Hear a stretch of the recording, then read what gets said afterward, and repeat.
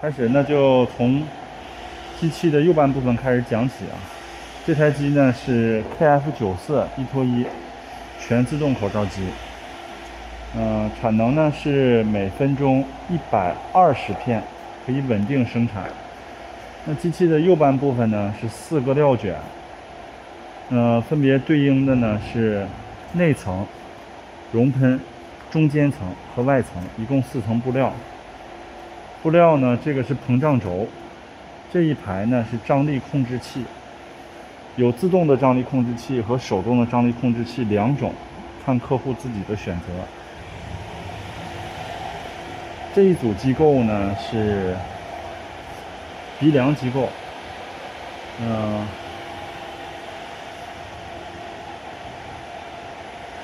这一组是外焊接和外切刀。两组机构，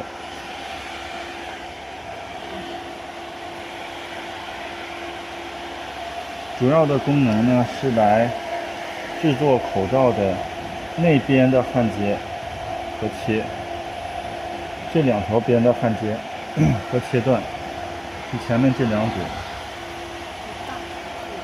中间这一组呢是窝边结构，通过它。来折叠 KF 九四的形状。后面这一组呢是外焊接和外切刀两组，分别对应的口罩就是这个边、这个边的焊接和切刀。那么打片机呢有几个亮点。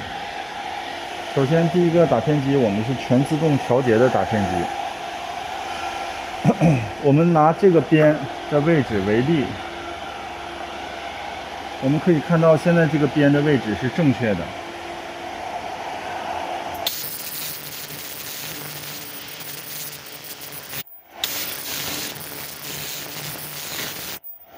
我们再去观察这个边哈，这个边呢，它现在的位置。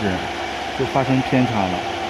那么整机对应的五个环节：鼻梁、外焊、外切、内焊、内切，整机的调节都是通过机器的 PLC 控制来自动调节。我们现在演示把这条边调回来。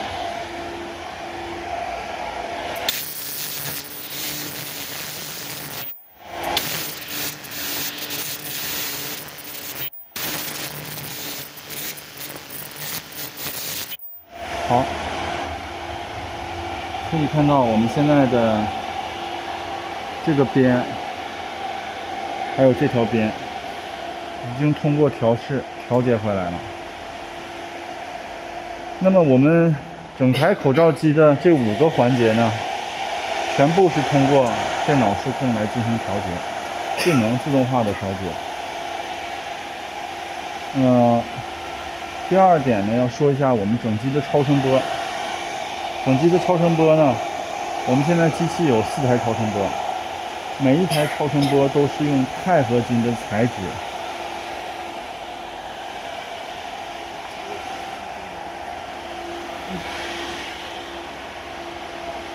包括耳带机，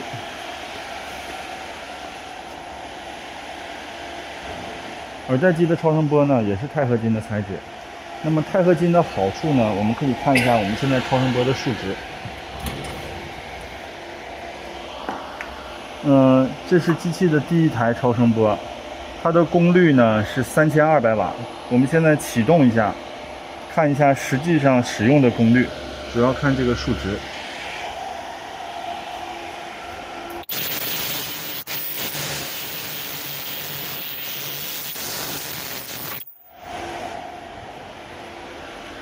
好，我们实测功率应该是一百四十七瓦。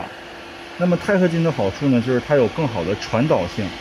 那超声波大功率呢，能够保证机器长时间运转不产生负载。它的超声波实际使用功率不超过百分之十。呃，三千二百瓦的超声波，三千二百瓦的这个传感器，动能转换器，三千二百瓦的钛合金模头。那这个机器在拿回去使用的过程中，可以二十四小时生产，不用担心超声波发生负载。那第二个就是打片机，我们的结构。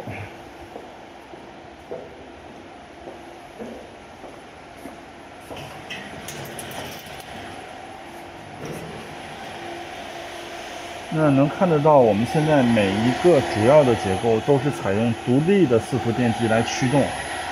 它的好处呢，就是第一个跟齿轮机对比，齿轮结构不论是齿轮还是传送带，你在长时间运转的情况下呢，它的传动装置会产生偏差，也就齿轮会松，皮带也会松，链条也会松。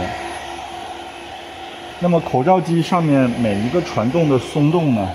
都会反映到口罩上面的这个具体位置上，而且一旦长时间生产，链条产生的松动，人工是很难去调节的。这个也是为什么我们的口罩机使用寿命不长，在用了一两个月之后，口罩的精密度不够的主要原因，就在它的传动装置上。那么我们现在整机呢，每一个独立的步骤。都是采用独立的电机进行驱动，来保证这种机器你用一年、用半年，它都不会因为变数不统一、传动松动，对应到口罩不稳定上面。也就是说，你打一年，口罩也不会产生偏差。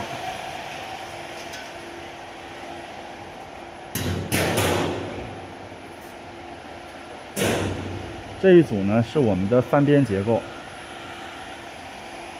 翻边结构呢，我们上面有三个口罩的储备料，有三片口罩的，前面一个进料，后面一个出料，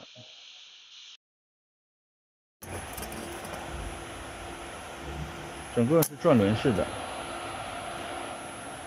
那么这一组是我们的耳带机，耳带机。耳带机包括我们的打片机，整体的四伏电机全部都是总线，总线的电机，总线的 PLC。总线的好处呢，就是能保证这个所有的马达转速，它的反应时间是足够的。第二个，它不丢步，在长时间稳定的情况下呢，总线的不良率要大大的优于脉冲一类的电机。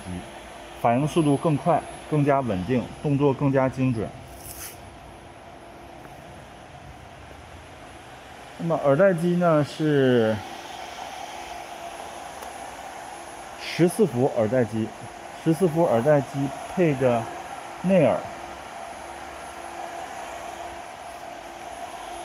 就是口罩出来的时候呢，全部都是窝好边的，这个口罩的形状。加了折耳装置。对，有折耳装置。那现在机器呢，稳定在一百二十片是没有问题的。